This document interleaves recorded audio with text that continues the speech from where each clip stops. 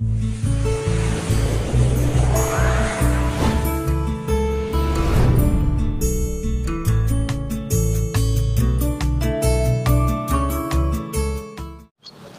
chào quý vị và các bạn. Tối hôm nay tôi sẽ thông báo cho chúng ta một cái tin uh, tin vui. Thực ra đây là một cái tin vui. Còn uh, vấn đề mọi người có biết trân trọng cái tin này hay không mà có biết vận dụng hay không thì đấy là việc của mọi người. Thông báo cho quý vị các bạn biết cái đoạn ghi âm giữa tôi và anh chủ nhà. À, lý do là như thế này. Trước đây thì như tôi đã nói nhiều lần là Lộc không muốn tôi điện thoại cho anh chủ nhà. Tuy nhiên là rất nhiều người trên kênh YouTube của tôi nói là anh hay chú hay là thầy nên điện thoại cho anh chủ nhà để xem xem cái cái thái độ cũng như là cái suy nghĩ cũng như ý định của anh chủ nhà như thế nào hoặc là để nghe từ hai phía nghe từ hai tai.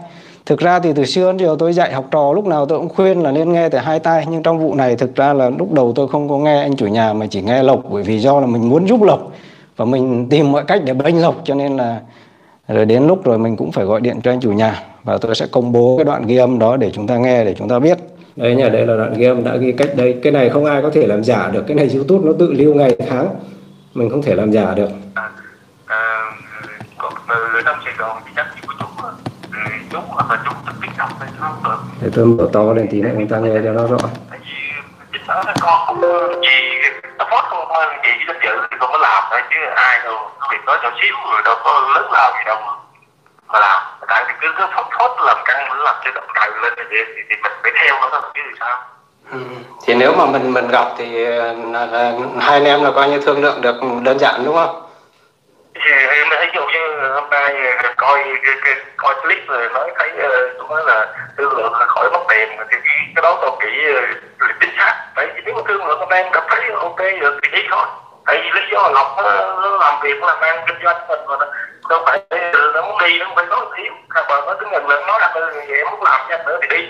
Ừ. thì thì không có cách hướng với gì khác. Còn này tự đi ngang rồi cô phát một nữa nên mình phải phải phải làm thôi chứ còn như chú mà đứng ra cái đó là thực sự từ đầu đến cuối con rất là tôn trọng chú cho dù chú có đi vào nhà lọc hay kia nhưng mà tại vì chú là người lớn.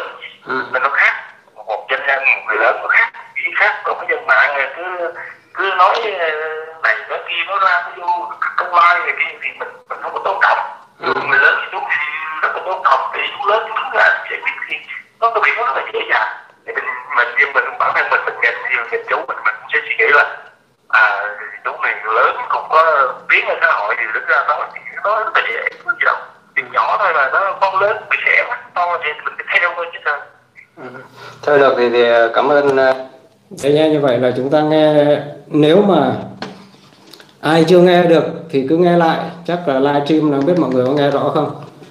À, ai chưa nghe được nghe lại hoặc là tôi nói lại ngắn gọn như này chúng ta biết này. Tôi đã nhắn tin cho lộc các cái video trước nhưng mà nhiều người không chịu nghe cứ vào chửi bới tôi thì trên cái video trước là tôi trực tiếp gọi điện cho lộc nhưng lộc không nghe máy và lộc nhắn tin lại cho nên tôi có nhắn tin cho lộc tôi nói là việc này cậu chủ nhà nói rằng giải quyết rất đơn giản việc nhỏ như hạt đậu không có gì cả. Chỉ cần chú hoặc là người của chú đến nói với cháu một câu là xong.